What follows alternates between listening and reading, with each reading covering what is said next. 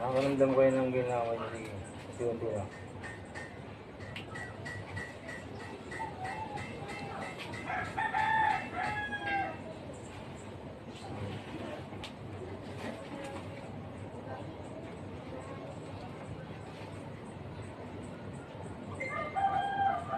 Babaan nyo, yung kamay yung ganun nyo.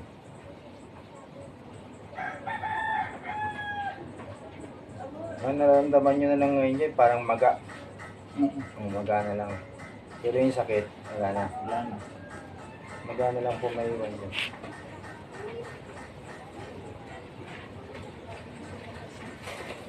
Hintayin nyo lang umupa yung maga nyo, mawala na po.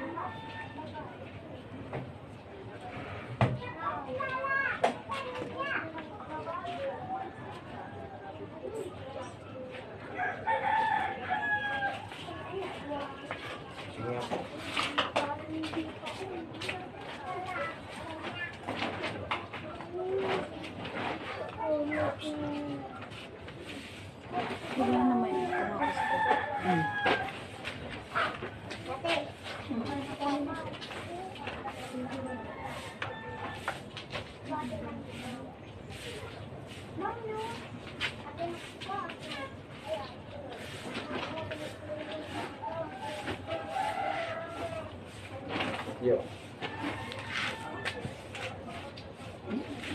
Yo. Sa kamay nyo, yung kamay nyo. Hindi. Ganyan ganyan lang, di ba?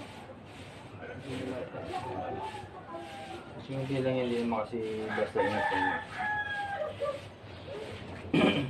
Sa kamay nyo po, ano po nararamdaman nyo? Para natural na? Oo. Kaya lang kwan. Hindi ko may ganyan eh. Hindi nyo may ganyan? Oo.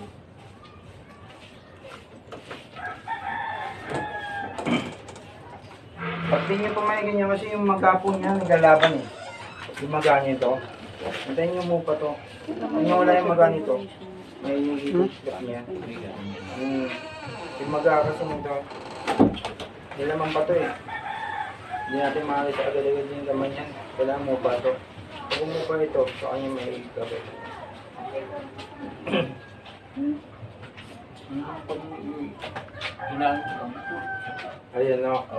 Ba't lalo na pag ano sa tulog ko, ganyan ang tulog Eh ngayon po, ano bang ano? Okay. Anong pakiramdam nyo ngayon? Nawawala naman yung kanya. Sige. oh.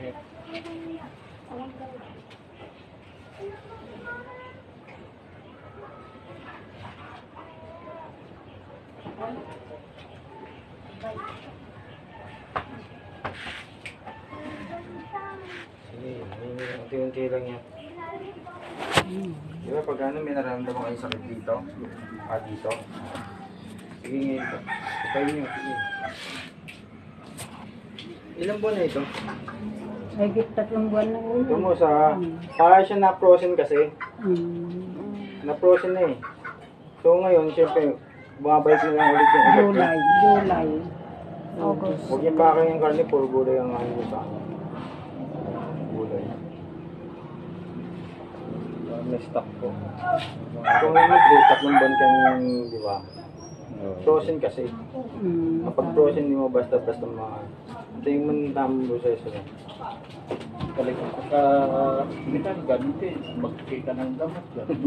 Ako. Diretso pa nga ho gamot niya hanggang ngayon. Hmm. Huwag ka muna inom ng gamot. Hintayin mo yung ano ko. Ngayon kapag may messenger ako, mag-send kayo ng tubig sa akin sa baso. Hmm. Yung iba po ah, kailangan makikita ko yung tubig sa loob. Kahit sa messenger nyo send sa akin. Hmm.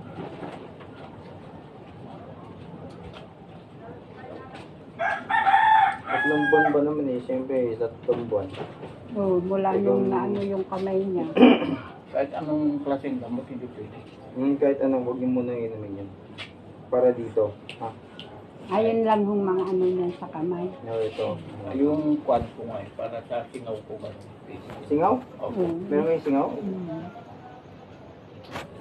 Grabe ito pagka pinantangan ko yung... Hindi, kapag may singaw, pag may singaw po kayo dito, di ba? Oo. Pag may singaw kayo, magsala kayo ng tubig saan.